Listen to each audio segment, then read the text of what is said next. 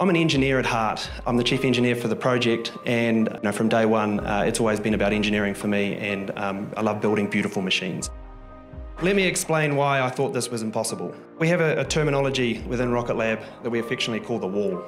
We, are not doing a propulsive uh, re-entry and obviously you saw we're not doing a propulsive landing. The fundamental reason for that is that takes a small launch vehicle and turns it into a medium-sized launch vehicle. We're not in the business of building medium-sized launch vehicles, we're in the business of building small launch vehicles for dedicated customers to get on orbit frequently. So we have to start off at eight and a half times the speed of sound, and we have to get down to 0.01 times the speed of sound in around about 70 seconds. And when we're entering, we get we generate a lot of shock waves and shock-shock interactions, and the plasma around those shock waves is equal to about half the temperature of the sun. I think you can probably see by now why I thought this was a pretty big challenge.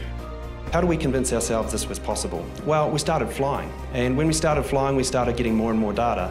The Electron is, is, is basically a flying laboratory. We have around about 15,000 channels of data every flight. We tried to understand and close the verification loop of what's going on. We're taking a you know, completely different approach to, uh, to solving, this, uh, solving this problem. Um, we're, we're, doing it uh, very, very passively. Um, we're doing it with a lot of uh, TPS and a lot of aerodynamic uh, decelerators to try and uh, push our way uh, through that, that boundary wall. Goal one is just to get through the wall. And I bet a lot of you guys sitting there watching and, and looking at the helicopter piece thinking, whoa, that's tricky.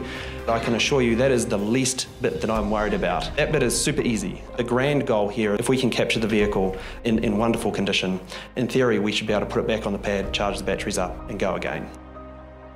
Launch frequency is the thing that is going to change this industry and quite frankly uh, going to change the world because if we can get these systems up on orbit uh, quickly and reliably we can innovate a lot more and, uh, and create a lot more opportunities. Even if I can get the stage back once I've effectively doubled my production ratio. So that's, that's, a, that's a, a wonderful place to be.